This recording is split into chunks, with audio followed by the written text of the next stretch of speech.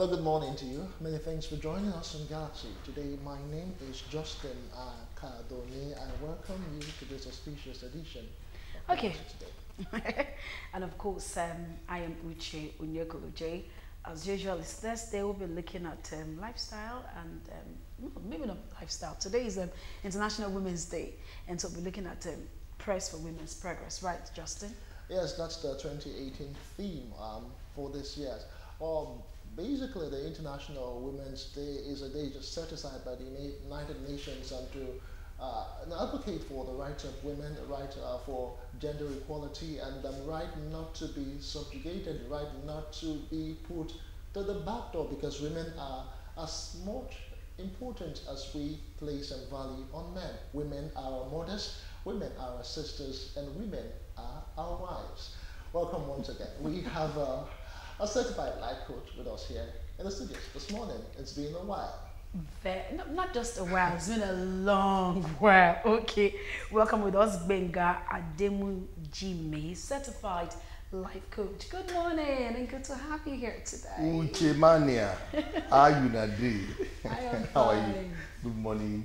Just good morning. Morning, Happy Benga. International Women's Day. Thank you. I So hear what am I you. supposed to say? Same to you. Yes, ma'am. same to, yeah, for today, same to you. Okay, same Yeah. But I would say Happy New Year to you, though. Okay, that's true. We've not seen this year. Mm. Happy New Year. All my viewers, all my fans, shout out to you. Happy New Year. Thank God for Uche and Justin who brought me back to, to the show. And uh, I want to say Happy International Women's Day. All our women are hello. A, wi- Right. a wise man must not offend a woman. Ironically, you are a man, and we are going to be talking about women's right, press for freedom. One thing I just um, really don't understand is that this is the 21st century, and uh, when women should be seen as, um, you know, just um, equal with men, other people still feel women should be taking um, the back seat. Yeah. Do you really, do- what do you think about it, really? Um, if we need to go by the laws and the dictates at which the manufacturer manufactured all the products, mm. um, we need to understand one fact that we are equal.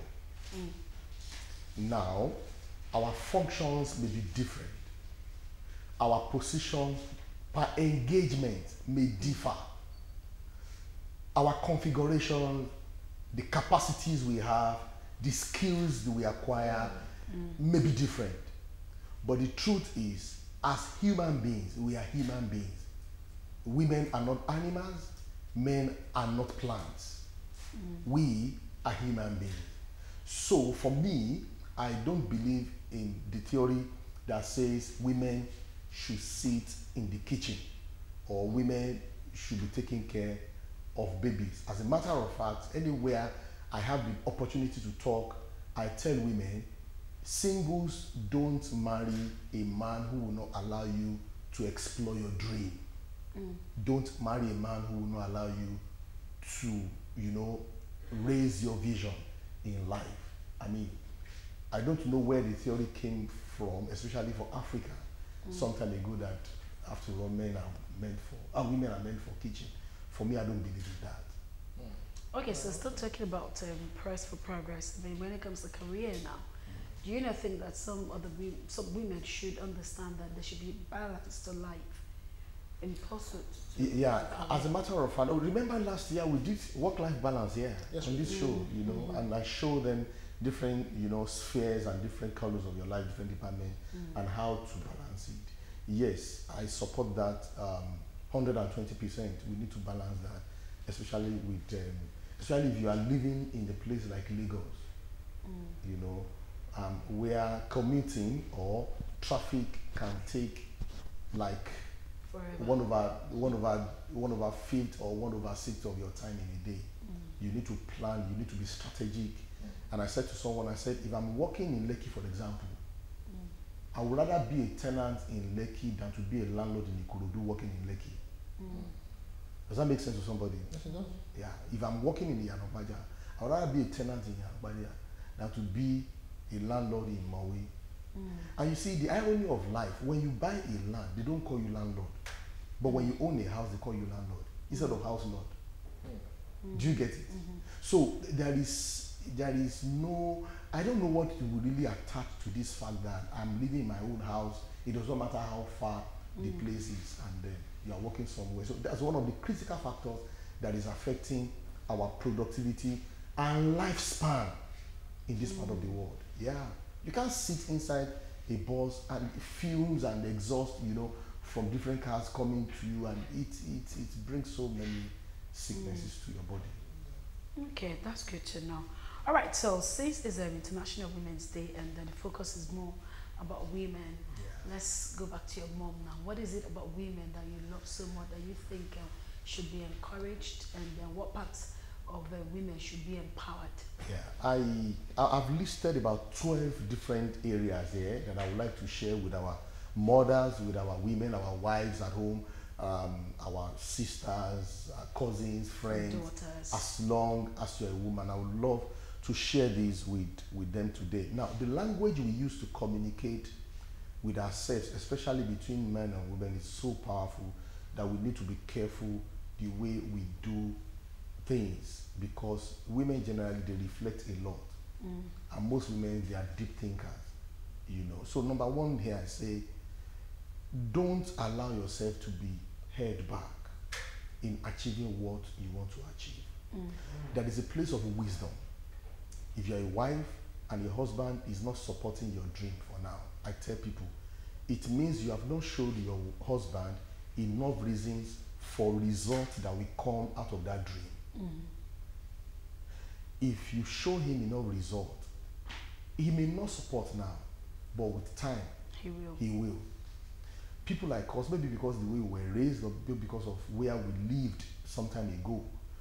Uh, when my wife said, I want to do something, as long as I see her passion and I know she's convinced about that, I give my 100% support. As long as it is not kidnapping or yahoo yahoo. Okay, but is it like um, the average? Uh, let's bring it down home now to Nigeria. Would you, uh, in your opinion, think? Uh, would you say rather that um, the average Nigerian man is very supportive of um, his um, wife or his um, you know, counterpart, you know, a daughter to just um, succeed even when um, there are men in between? For instance, give uh, give a, uh, give an instance of where there's a family of five and a father has um, four uh, girls and um, one um, boy, you know, and the girls came before the guy, and the guy, the guy came much later. You know, most uh, Nigerian men would actually just want to put all of the resources on the men and say, after all, um, these women are going out of the house. So, do you really think the Nigerian men actually believe that um, women are really very important in the society and, of course, in the family? Okay, number one, I'm not working in Ministry of Home Affairs, mm. so I may not have statistics, but I'm going to be talking from my own personal experience. Um, as a life coach, as a therapist, mm-hmm. what I've seen over the years, people complaining when they bring cases to my office. Mm.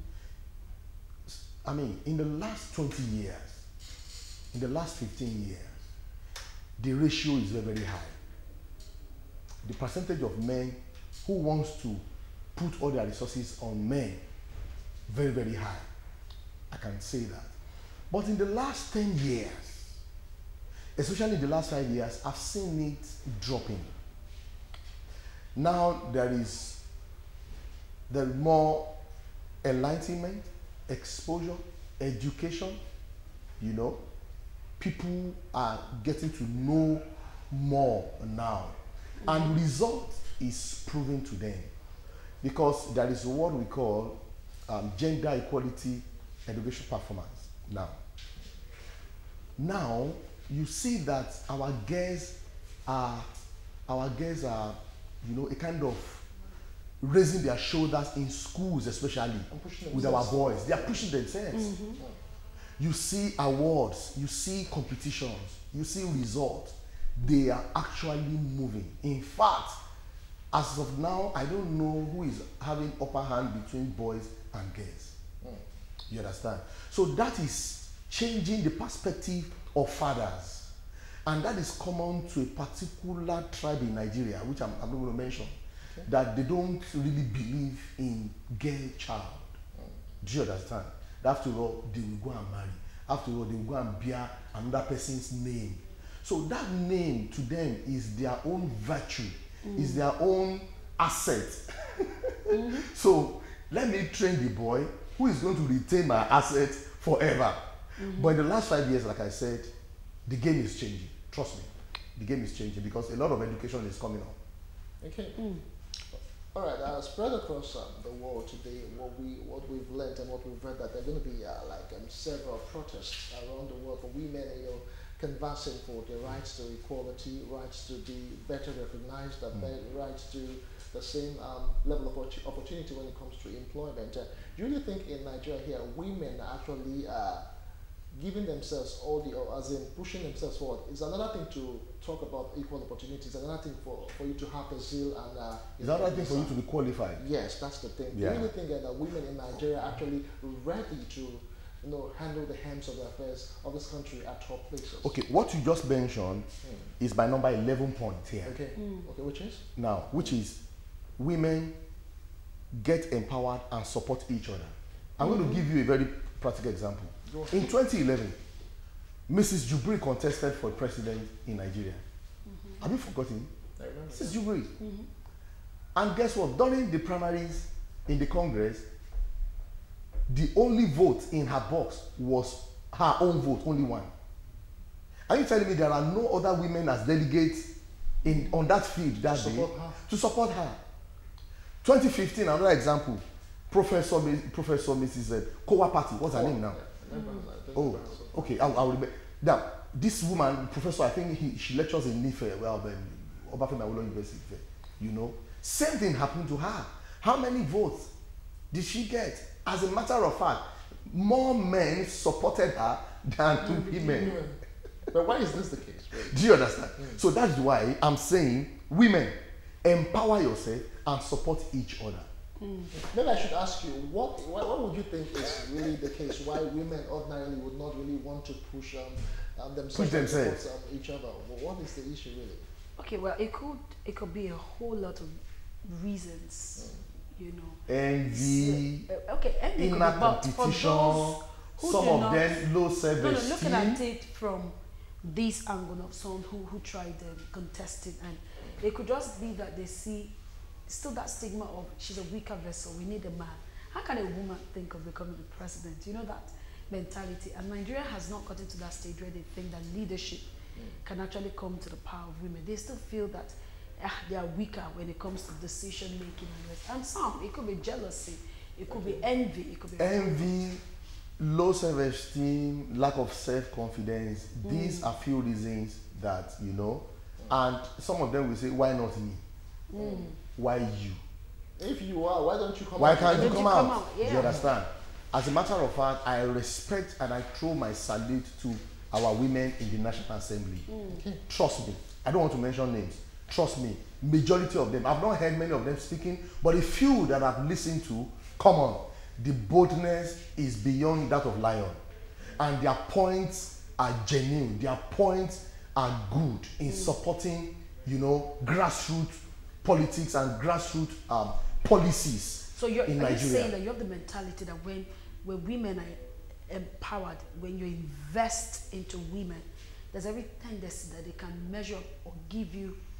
Okay, I don't, I don't want to play, put this as a contest, but they can deliver. You are Uche, sure let me tell you one thing. Women are like VAT, value added tax. Mm. When whatever you put into a woman, mm. You get when double, when you when you put semen in a woman, she gives you a child. Mm. Does that make sense to you? Mm-hmm. Any man, any society that wants to prosper in life, go and check your good books, both Quran and the Bible. It's clearly stated. You will see it, not as a principle. I mean, not as a law, but I mean, sorry, not as a doctrine, but as principles of life. Go and check. You will see that women always birth new things. They deliver. It is not in the place of a man to deliver. No, it's not. No, it is in the place of a man to impregnate, push the vision there. Then let the women do what? Let them deliver. Do you understand? So I call women value added life instead of VAT, VAL. Hmm. They add value to life. That does not mean we don't have some terrible ones among them. Oh, yes. Don't get it wrong, it's twisted. But most of the time, check. I'm a student of national transformation, and I've studied not less than 60% of cases around the world. And I always see, I can give you names. It, do you want to talk about Rosa Parks? Who is, who is Martin Luther King Jr. without Rosa Parks? Hmm. Do you get it? Go and check. Women always, even if it is a man that will eventually lift up the banner, it is a woman somewhere in one corner who will do the job. Okay. And also today, uh, um, on the International Women's Day, is actually another opportunity to expose a sexist agenda where um, women are put to the back um, door, and again to talk about issues that affect women, specifically domestic violence. Uh, Let us talk about that for a bit now. You know, with uh, this um, theme in focus, pressing for the progress of um, women, don't you think it's high time we begin to get more policies and more thrust that will actually focus on how women cannot really die just because they want to be in marriages? Now, the first thing you need to understand is this who are the policymakers? The question is are they not wife beaters? Hmm. are they not? So you need to understand the, the foundation. You can only make laws that will, be, that will benefit every citizen if you are not a victim of that law. Hmm. Do you get it? So many people, when you talk about law policy, law policy, fine, so that things can be stable, so that things can be in order. The hmm. question is, who are the people making those laws? Hmm. Now, let me give you an example. National Assembly, sometime was it last year? I think early last year. For them to approve 18,000 naira or 54,000 naira minimum wage for our workers was a problem for them. But to approve some billions of naira to buy cars for themselves was like this fast, fast. So until we get people, last week I was doing a training for some leaders across universities in Nigeria. And when they interviewed me, I said to them, a high morally certified president can never do anything meaningful with the corrupt National Assembly. Put 10 Buharis in government. With this National Assembly, he will not do nothing, quote me anywhere. He can't perform anything.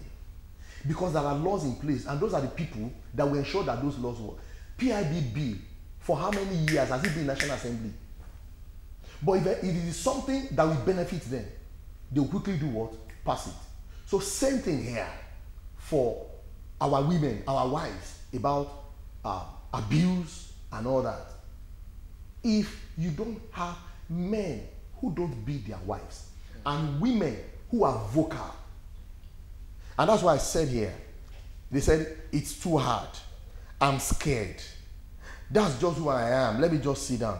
I have tried before, it didn't work out. I am not ready. Maybe someday men will fight for us. Nobody will fight for you. You got to fight for yourself. Mm. And let me quickly say this protest may not change more than 5 to 10% of what you are looking for. Do you understand? Mm. Protest. Are you following what is happening in South Africa? Are you aware that some 42 boys, led by 37 year old boy, chased Zuma out of government? Are you aware? Mm. These guys are not more, they, they are not up to 50 in their in the National Assembly. But you know what? They've been in they've been on the process for nine years. And in the last three years, they ensured that the heat was up. They did not give in to any threats until they saw, they had evidences. They caught back then that you know what? You have points here. And you know what? They successfully mobilized people in the house to chase the president. The president resigned the last minute. He thought he could escape. This is what I expect the youth of today, instead of abusing themselves on social media, instead of cursing themselves, calling tribes and names, you are Igbo, you are useless, you are Yoruba, you are idiot. Is that what they are supposed to be doing? Giving politicians leverage and power to be to be to be messing up with their future. Same thing, women. Women should gather themselves together. Women should stop agonizing. They should stop organizing and mobilize themselves together into that house of assembly. But- Because they are mothers. There was a call for 35% inclusion for women at Mm. uh, you know at the you know the Hems of Affairs in the National Assembly and all of that. Although the bill was um, was not actually uh, didn't pass, didn't They will not pass it. So, but don't you think uh, women should uh, maybe the women at the National Assembly they should push again and represent? That's what I'm particular saying. That's what I'm saying. That they should not give up. That's why I gave you. I'm not ready. I'm, I've tried before. We are tired. We are scared. No, there's nothing like that. Mm-hmm. Listen to me. He, he who keeps his life lose it. But when you lay your life, you have it back. Let our women know that. See, men, boys, husbands, fathers, they are relying on them with the back, with the, with the support of the fathers and the men. Do you understand? Yes, they may not be able to do it alone, but they should know in the society men and daddies who are ready to support them and let them do what? Let them go for it. They should push it until they have it. Okay, so can we go rural a bit? I mean, um, we know on a societal level, to a large extent, some women maybe un- understands their their place in life, but from the rural setting, a whole lot of them have this mentality where they feel everything about you is for your husband, and then probably um, in training up your children, you have to give priority to the boys than the girls. I wouldn't want to mention tribes, and in this case where you don't have a say of um, whom to choose if you want to marry. They just give you who to be married to. How do you um, create awareness or how, how do you enlighten such people? That's what I'm saying. That this protest, that for example in Nigeria now, in Africa, um, what I expect them to do now is to begin. We have NGOs all over. NGOs are everywhere, and I want to, I want to, I want to please admonish our NGO in Lagos. Please, Lagos is almost oversaturated. Go to remote areas. The grants and the money uh, that you are getting, please go to places like where you mention now. They will know when they do their research. They know, especially when you follow the SDG goals. For Do you know, not think education also plays a vital role? that's, that's what I'm saying. They should go there and educate them. Hmm. They should go there and expose them and, and talk to the parents. Bring the parents together, talk to them separately. Bring the children together, talk to them separately. But especially the parents. Go through PTA, you know, Parent Teachers Association, through religious um, bodies and all that, um, the civil society organizations. Go through all those and go to the State House of Assembly, the local government. That's how you can reach the grassroots, especially the religious centers. Okay. Engage PFN, engage CAN, engage the Islamic Organization of Nigeria, engage all those, you know, big, big daddies at the end of affairs. Let them see the danger in what they are doing now. In the next 10 years, it should not be like that. It's only building and breeding what I call uh, um, um, rebellion. Okay, please, before we let you go, I, I, I'm also looking at it. Do you think this, um, some of this should be infused into our curriculum um, activities? Maybe it should be included into educational syllabuses. That is the work of the NGOs. We Okay. have curriculum developers across board. Mm. That I know some that they even work for international organizations to tell you how good they are, how professional they are, how, how internationally certified they are. We have them, but are we engaging them? This is the this is the tragedy of governance in Nigeria. Mm. That you put a round peg in a square hole. Well, uh-huh. mm. That's the problem. Somebody who does not know anything about sport, you put, you give him the minister or you give him a, a commissioner of sport. Mm. What, what he doesn't know what to do, no vision, no dream.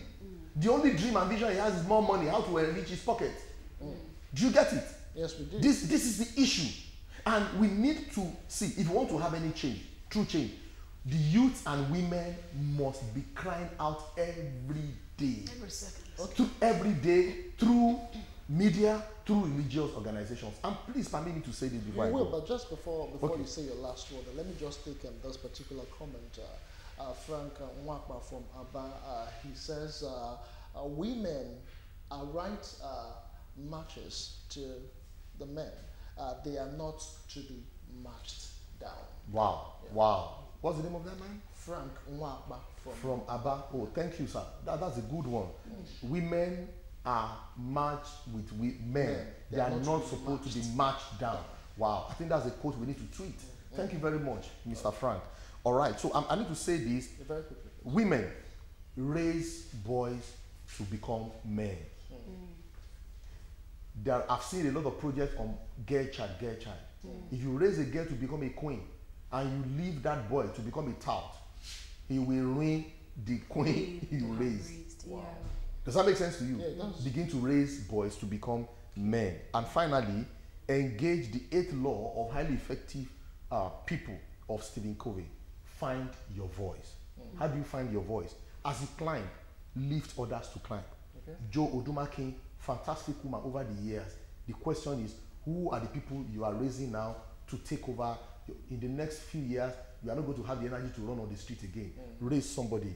Reverend Adejumo and our mummies in the religious sector, Oby Ezekwesili, Ibukun Awosika, few names that I can mention, Yeah. begin to raise women like you that will take over the platform when you are old. All right, well said. Uh, uh, for the past um, 10, 30 minutes or thereabout, we've been speaking to certified life coach Benga Ademujimi. We've been looking at women emancipation, well, today being International Women's Day, and uh, with the theme for the year, hashtag press for progress. But that is that as much as we can take on this segment. Remember, women are not to be subjugated. Women are not supposed to be pushed to the back doors. Women are supposed to be in the forefront. Women are supposed to stand side by side with men. Women are our mothers, women are our sisters, women are our wives, and women would always be part of us. Uh, that's as much as we can take. We'll take a quick break, and when we come back, we'll be having a timeout